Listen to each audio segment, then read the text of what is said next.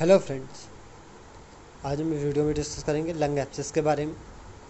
हम उसका डेफिनेशन उसके कॉजेस उसके रिस्क फैक्टर्स उसका पैथोफिजोलॉजी उसके क्लिनिकल मैनिफेस्टेशन डायग्नोस्टिक वैल्यूएशन उसका मैनेजमेंट हम देखते हैं। हम स्टार्ट करते हैं। सबसे पहला definition it is defined as collection of pus of purulent material in a localised area of lung जैसे पिक्चर में हम देख सकते हैं, हमारा जो येलो कलर का पार्ट है रेलो रेड पार्ट वो हमारा लंग एप्सिस है। हमारा लंग एप्सिस का मतलब होता है collection of pus of purulent material localised area of the lung is known as हमारा लंग एप्सिस हम आगे डिस्कस करते हैं उसके कॉजेस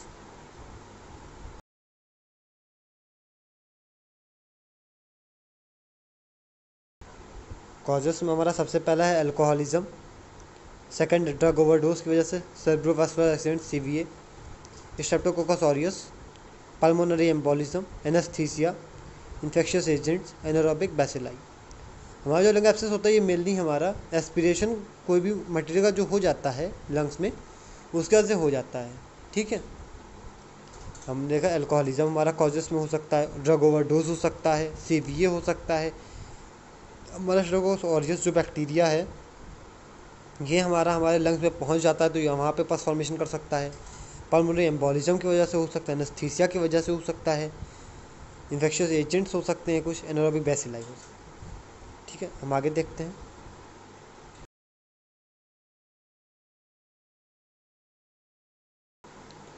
हम पैथोफिजोलॉजी देखेंगे।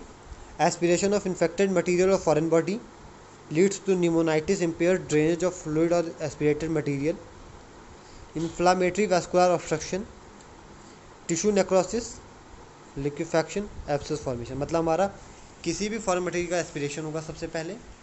उसके बाद हमारा निमोनाइटिस इम्पेयर्स मतलब हमारा इसमें निमोनिया के सिम्टम्स अपीयर होंगे। ठीक है? हमारा जो फ्लूड जो भी हमने एस्पिरेट किया है, वो हमारा मटीरियल निमोनिया के सिम्टम प्रोड्यूस करे उससे हमारा इन्फ्लामेटरी वैस्कुलर ऑब्स्ट्रक्शन हो जाएगा।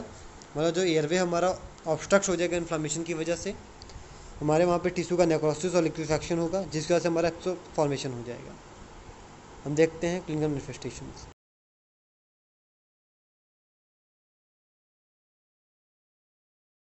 क्लिनिकल मैनिफेस्टेशन हमारा स्वेटिंग हो जाएगा कफ हिमोपटाइसिस मतलब ब्लड इन स्पूटम चिल्स हो जाएगा dyspnoea difficulty breathing clubbing increase pulse rate purulent sputum मतलब हमारा जो स्पूटम होगा वो बहुत ही फाउल स्मेल करेगा, बहुत ही मतलब स्मेल बहुत गंदी करेगा फीवर हो सकता है प्रोराइटिक पेन होगा।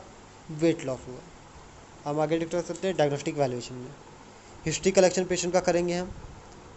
उसको कोई इन्फेक्शन नहीं था, कोई भी प्रीवियस हिस्ट्री हो सकती है। उसका हम नेक्स्ट देखेंगे फ़िज़िकल एग्जामिनेशन एग्जामिनेशन में हम लंग्स का असेसमेंट करेंगे। फिर चेस्ट एक्सरे में हम देखेंगे किस साइज़ का हमारा, जो लंग एब्सेस किस साइज़ का है, किस लोकेशन पे स्पूटम टेस्ट करेंगे। हम देखेंगे किसी बैक्टीरिया की वजह से तो नहीं है।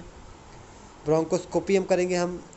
ब्रोंकोस्कोप माउथ से एंटर करेंगे, जिसकी हेल्प से हम व्यू करेंगे कि हमारा जो फ़र्स्ट फॉर्मेशन हुआ है, वो किस लोकेशन पे है, किस तरीके की सेल से कितना एक्सटेंड तक का हुआ है। सी टी स्कैन हम करेंगे, जिसकी हेल्प से हम आइडेंटिफाई कर पाएँगे हमारा जो एक्सेस एक्सेस फॉर्मेशन वो कितना ज़्यादा सेल डैमेज कर चुका है, कितने साइज़ का है, कितना ज़्यादा सीवियर कंडीशन में है। एम आर आई स्कैन में हम नेगेटिव वेव की हेल्प से हम चेक करेंगे कि हमारा जो टिश्यू नेक्रोसिस किसकी डेप्थ कितनी है, वो कितना ज़्यादा टिश्यू की डेथ हो चुकी कितना सेल्स डैमेज हो चुके हैं, ठीक है?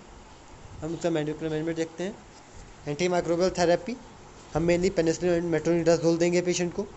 हम चेस्ट फिजियोथेरेपी इन्वॉल्व करेंगे ताकि जो पेशेंट का कट प्रोडक्शन हो रहा है, वो हम रिमूव कर सकें और एयरवे क्लियर कर सकें।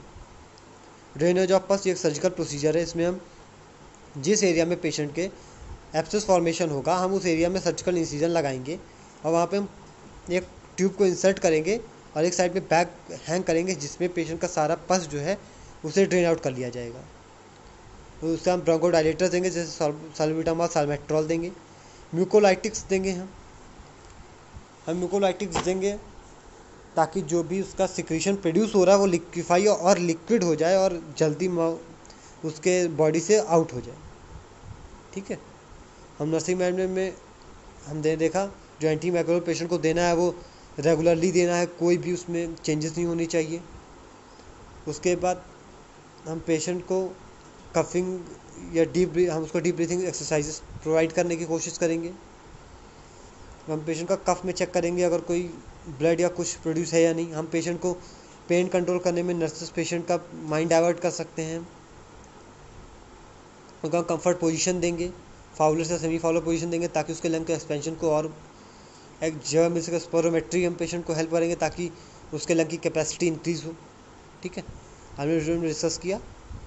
हमारा सबसे पहले लंग एसिड डेफिनेशन देखा, उसके कॉजेज देखे, उसको क्लिनिकल देखा पैथोफिजियोलॉजी देखी डायग्नोस्टिक वैल्यूशन मेडिकल मैनेजमेंट और नर्सिंग मैनेजमेंट देखा। अगर वीडियो आप लोग को अच्छी लगी हो तो लाइक चैनल वीडियो को लाइक करिए चैनल को सब्सक्राइब करिए। और अगर कोई भी आप लोग को डाउट या कोई भी प्रॉब्लम है तो आप कमेंट सेक्शन में पूछ सकते हैं। Thank you